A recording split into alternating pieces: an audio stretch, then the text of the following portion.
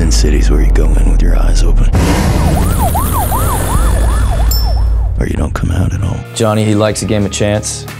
Good with the cards, good with the coins. I guess you could say he's a gambler. I guess you could say that's his sin. Um, although there's other sins that come into play over the course of this long bad night. Well, Senator, You got any idea what you're up against? You're up against a Roark. I'm ready for your worst. Boy, you don't even want to dream about my worst. You'd be smart to kill me now. This character of Johnny, because he's not in any of the books, has sort of been a collaborative creation. I mean, you know, it was written in the script, but there weren't any drawings, and so it, it didn't have as, as much specificity as, as really all the other characters.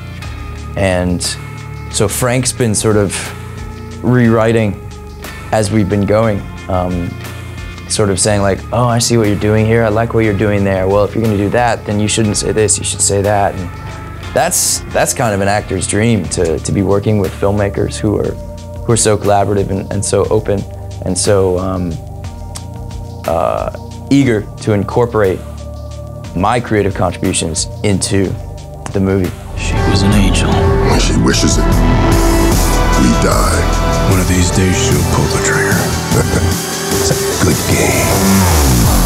I remember the first time I saw Sin City, the original movie. I loved it so much because the thing is that, you know, I, I love acting realistically and trying to convince the audience that they're seeing reality.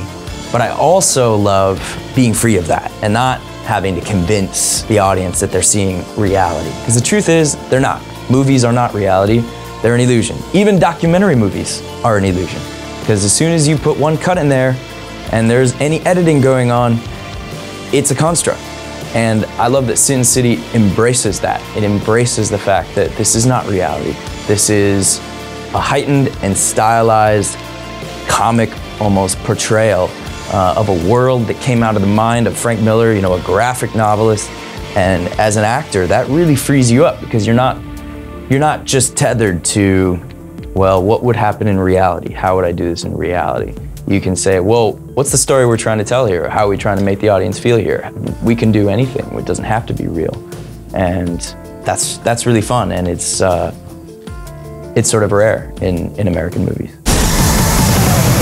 Never let the monster out.